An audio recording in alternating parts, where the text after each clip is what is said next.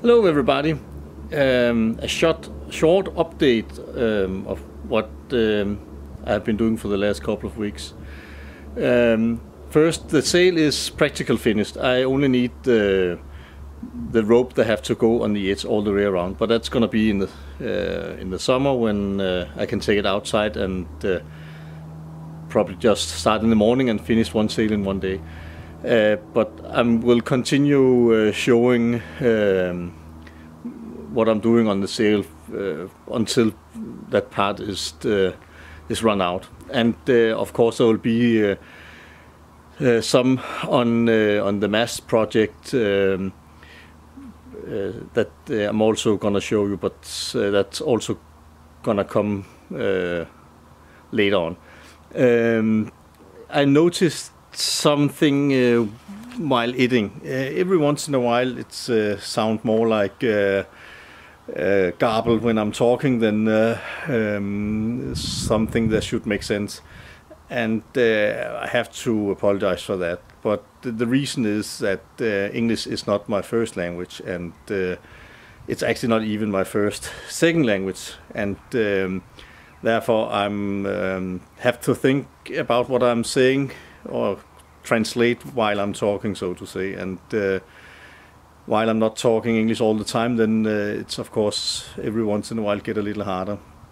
German, which is my first second language, uh, is uh, um, is uh, I have, when I'm using that, I actually need like 24 hours in Germany uh, or just talking German uh, before that start sounding a little bit reasonable. And that is even true that when I was younger, I was traveling as a traditional traveling carpenter and uh, spent a lot of time in Germany on that account. And uh, after a couple of years, I was start thinking and dreaming in German. So um, it's uh, I'm I'm quite good good in German, and um, therefore not that good in English. But um, I hope that you get the point of what I'm saying.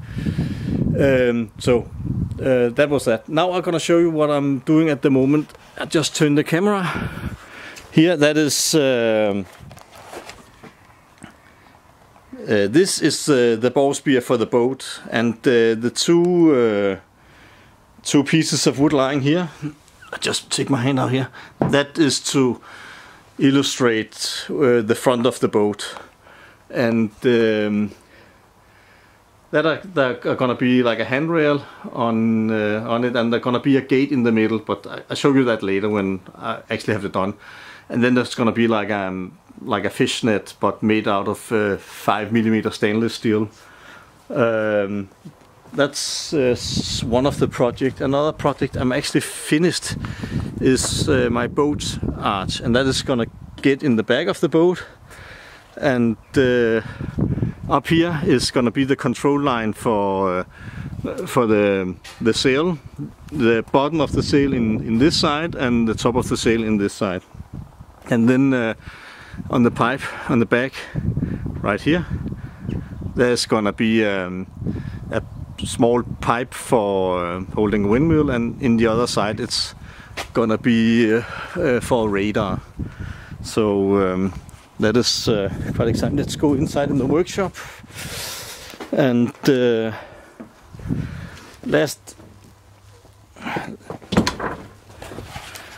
last weekend I actually want to uh, actually want to do some welding, but it was actually too cold for for doing that. It, it was not too cold, but I didn't want to lying around on the floor uh, when it was uh, as cold as it was. There was no reason for that. So what I did instead was making the the front um, uh, for the the seats. That is. Um, they're gonna stand like this and um then so that the mattress not are, are falling out and of course because they have all kind of shapes they also come in all kind of uh, sizes and it's um, this is uh, large and it's have been given um, some oil and this oil system that I'm I'm using that is like um, you have to uh, apply a thin oil first, like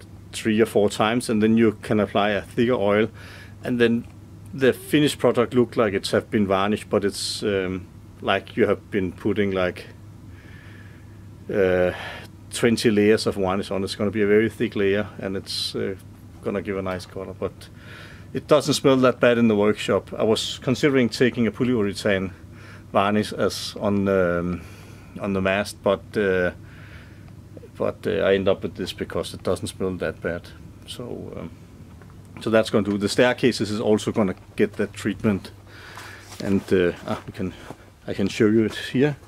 Oh, I um, did actually find a use uh, um, 30 kilo uh, Bruce anchor. I'm not sure you can see it. Here it is. Um, used, so I'm gonna use that as um, the small anchor. I'm gonna build some uh, 42 kilos anchor.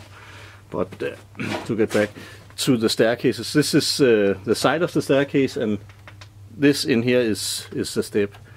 And um, probably when I'm finished making the the front of the seats uh, and put them aside, then I'm gonna start on uh, on uh, on the steps on the staircase, and that is um, it's easier to go to to and from that project than it is to um, uh, to do when I'm welding because some of the time I have to do a lot of preparation before I can weld, and it's easier just to do that and then do the welding in the in the weekend.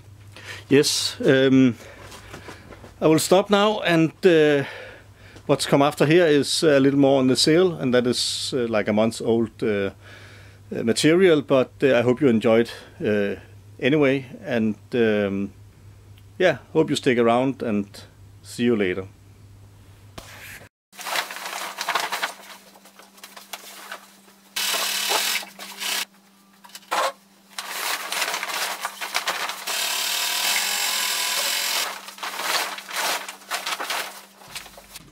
I uh, ran in uh, to some kind of problems.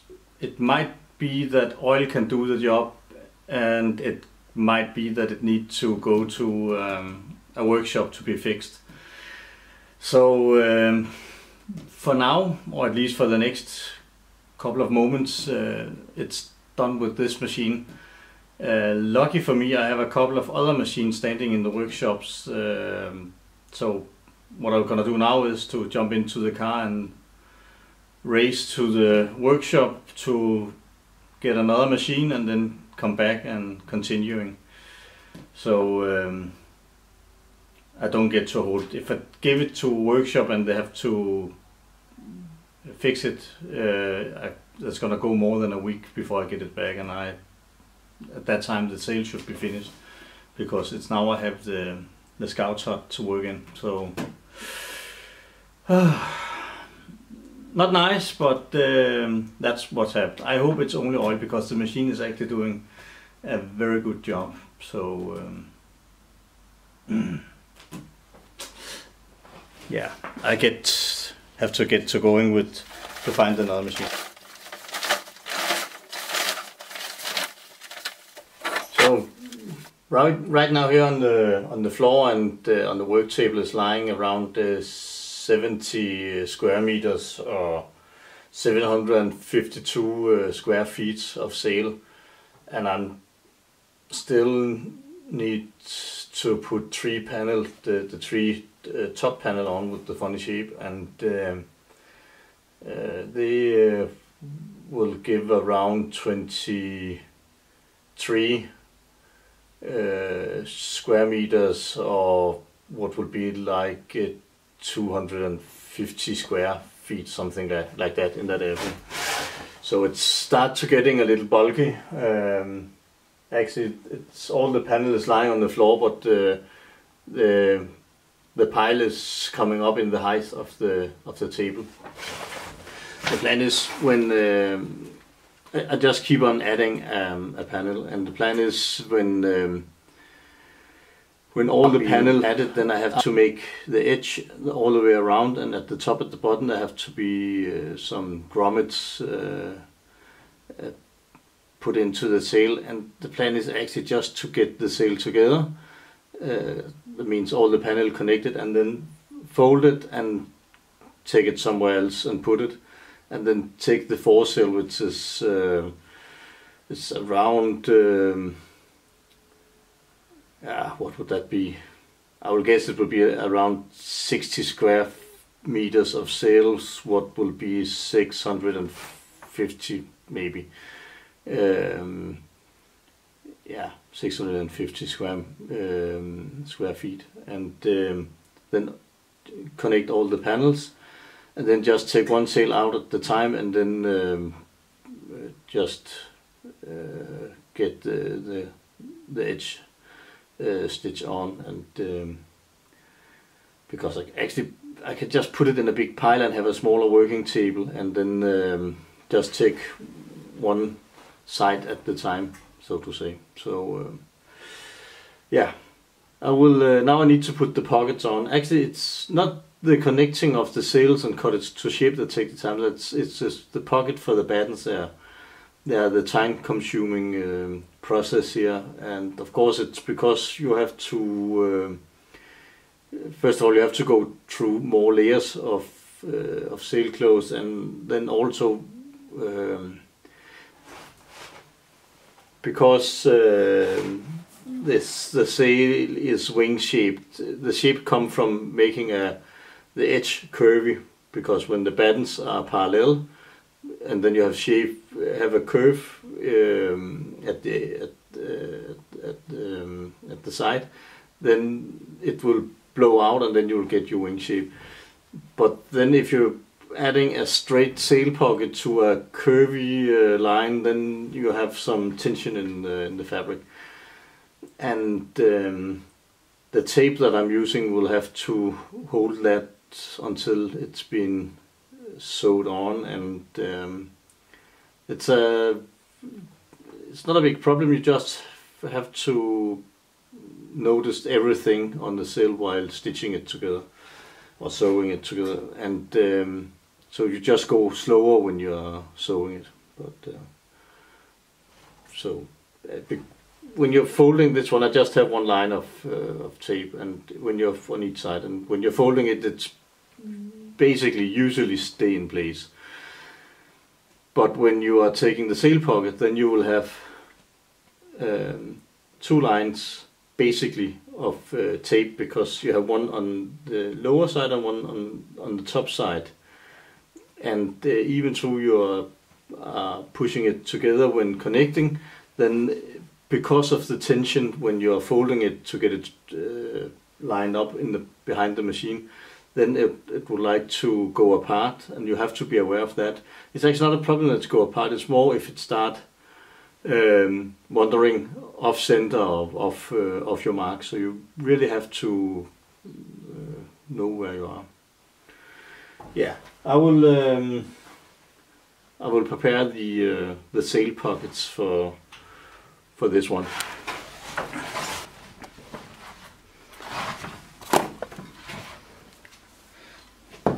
So, to um,